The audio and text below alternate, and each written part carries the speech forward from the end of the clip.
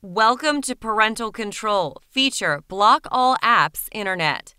App provides feature via which you can block all apps Internet. Go to Filter Internet. Block all apps Internet.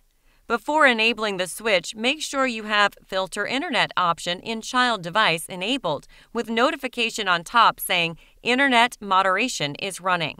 Once you enable this option, it will block all apps Internet in the child device. Let's try to browse some websites in Chrome, and none of it will get loaded. Similarly, apps like WhatsApp, Instagram won't be able to access Internet as well. If you want to unblock Internet, then simply switch off the Block All Apps Internet option from parent device. Let's check Internet in child device, and it's working.